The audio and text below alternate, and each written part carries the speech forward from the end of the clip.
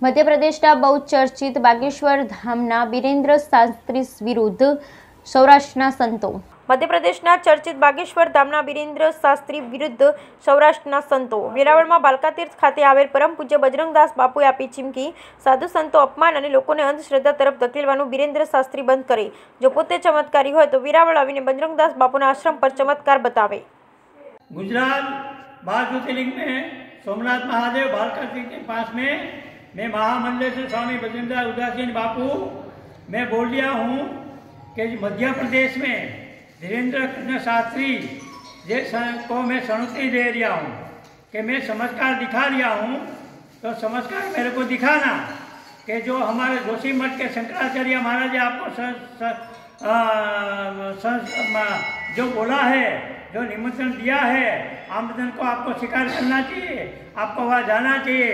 जोशी मठ जो बैठ गए हैं, तिराड़ो गिर गई है, तिराड़ो पड़ गई है, उसको खड़ा कर देना चाहिए बैठे बैठे चमत्कार दिखाना चाहिए तो मैं आपको मान्यता दूँगा जोशी मठ का शंकराचार्य महाराज को हम सहयोग दे रहा हूँ ऐसे ढोंगी धीरेन्द्र शास्त्री को बिठाना चाहिए, हिंदू प्रजा को अंधश्रद्धा में जाना नहीं चाहिए। मैं पैंतालीस साल से चौदह साल से उम्र से मैं दीक्षा लिया हूँ।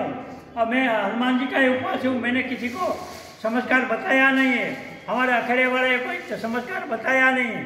और जो आपके छब्बीस साल की उम्र हुआ है तो मैं आपको ये बता सकता हूँ। आपको आमंत्रण दे रहा हूँ कि आप वेरावल पधारिए सोमनाथ। मेरे आश्रम में मैं आपको पंच धातु सिंहासन में बैठाऊँगा गालीसा बिछाऊँगा, फूल से गुलाब फूल से बिछाऊँगा, आपका सम्मान करूँगा। मेरे को एक दफे आके यहाँ चमत्कार बताए मेरे जेब में कितने पैसा है?